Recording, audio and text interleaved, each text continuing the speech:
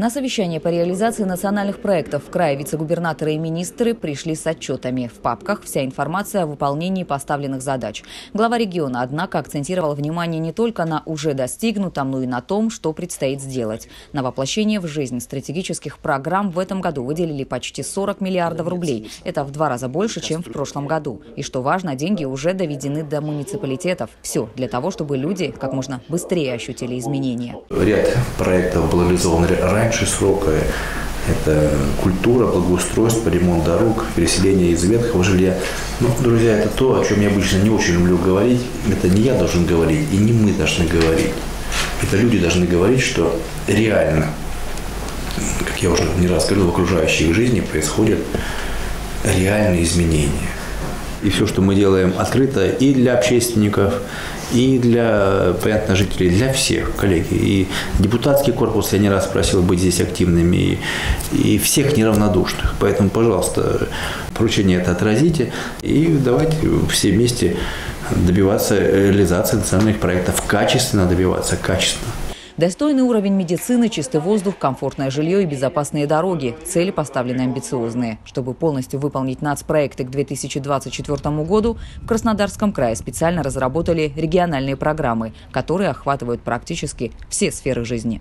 На сегодняшний день на территории Краснодарского края реализуется 48 региональных проектов. По итогам 2019 года был показан успех практически по всем проектам. Более 450 социальных объектов, социально значимых результатов было создано в рамках реализации национальных проектов. Конечно, это демография, это здравоохранение, образование, это то, что важно для каждого конкретного человека. Нацпроекты, по сути, дают возможность выделять дополнительные средства на стратегические направления – образование, экология и здравоохранение. Как раз в этой сфере было много хороших новостей – переоснащение и открытие новых больниц и поликлиник. Но в то же время наблюдается серьезный кадровый дефицит в медицинских сотрудниках. Если говорить об общем дефиците э, медицинского персонала, это и врачи, и средний медицинский персонал, то цифра это сегодня, на сегодняшний день приближается к 9 тысячам человек – это э, реальная сегодня нехватка.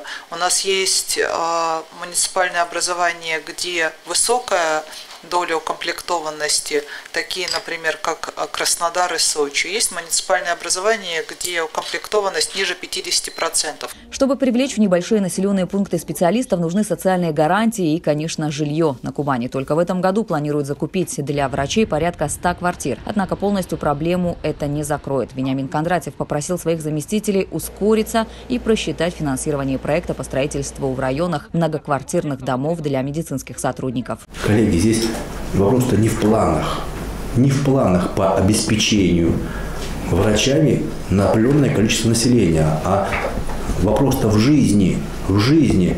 Людям этот план все равно, даже если у нас будет 100% на 100%.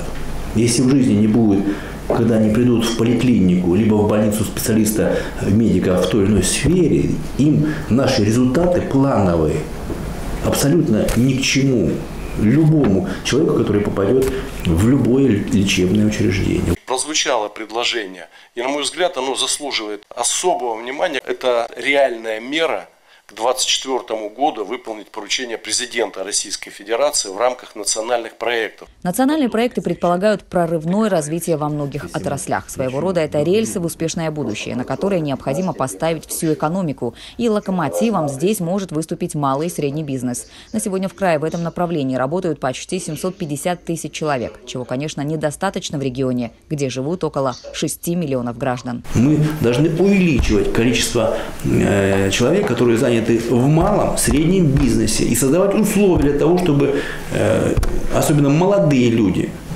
своей целью ставили создание своего семейного предприятия.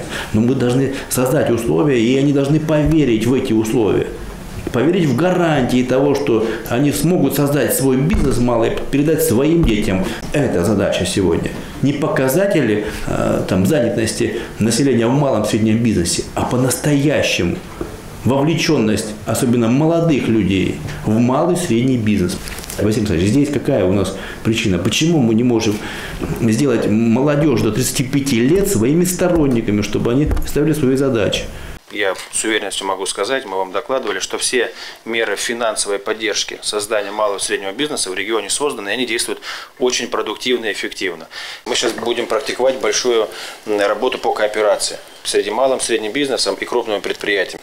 Вот кооперация и муниципальные государственные закупки – это тот тоже потенциал, тот резерв, в котором мы можем увеличить и улучшить э, и жизнь малого среднего бизнеса, ну и, соответственно, их численность людей в них работающих. Давайте изучим сегодня все, что нам нужно.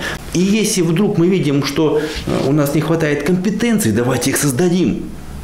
Из числа малого бизнеса, ребят, которые зайдут в малый бизнес, средний бизнес – Промониторьте уже все, что необходимо нам, кто нам нужен, представители какого малого среднего бизнеса, чтобы максимально закрыли полностью потребность в реализации национальных проектов в крае. Реализацию проектов на всех уровнях от правительства до муниципалитетов будут контролировать онлайн. Для этого разработают информационно-аналитическую систему. В Краснодарском крае к мониторингу подключится и Общероссийский народный фронт, что называется «На земле проследит за выполнением стратегических задач». Инга Габешия, телекомпания ФКТ.